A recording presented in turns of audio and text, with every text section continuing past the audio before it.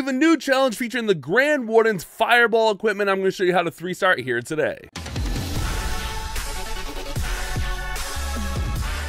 Welcome back for another Clash Clans video. I'm your host, Clash Bashing, and the Super Dragon Spotlight event has just kicked off, and along with it, we get the Comet at Me Bro challenge. This is going to be featuring the Warden's new fireball equipment so we can test it out and I'm going to show you how to three star this here today. And of course guys if you're going to be buying that event pass don't forget to go to your shop click on that C and enter code BASH. But let's hop into why you guys are here how to three star this challenge. This one's not too bad the first thing we want to do is click on that green arrow and hit the foot icon. This is going to set our warden to ground mode. That way the healers will follow him. So go ahead and place that warden in ground mode by clicking on the foot and then put him in and then put in four healers in there.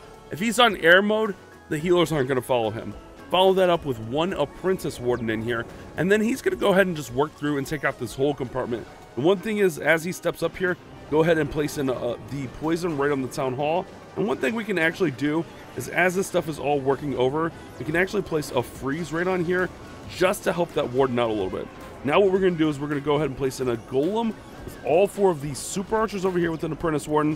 Then we're going to place in a golem with all four of the witches over here with an apprentice warden and let them work through. Now our warden's going to work through and take out that top compartment and then all these other troops will take out these far compartments and we should be pretty good through here. Once we get through the bomb tower, the witches will all work through there. And then what we're going to do is we're going to be ready to recall these troops, okay? So once we get kind of through here, we're going to recall these troops. So archers are going to work through there. And then what we'll do is we'll place in a recall right here.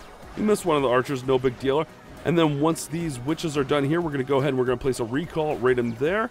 Then we're going to go ahead and we're going to place this golem right in here to follow up and go in front of the warden if possible. And then we're just going to dump in our recall spells and our other apprentice warden here. And this is really the cool part here is as we kind of start working through here, this, this is going to be really cool. So the warden's going to kind of follow everything through here. And then we'll go ahead and we'll freeze these he heroes and just let everything kind of just work through a little bit. All right. So let's go ahead and let's freeze these heroes again.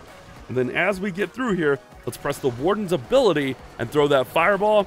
And there we go. That's how we're going to three star the comet at me, bro. Challenge, not too bad. It's all about getting the warden to use that fireball in that final compartment. Hopefully you guys did enjoy this one and it was helpful. If it was, don't forget to leave a like and subscribe. You guys have a great day. Keep on clash bashing.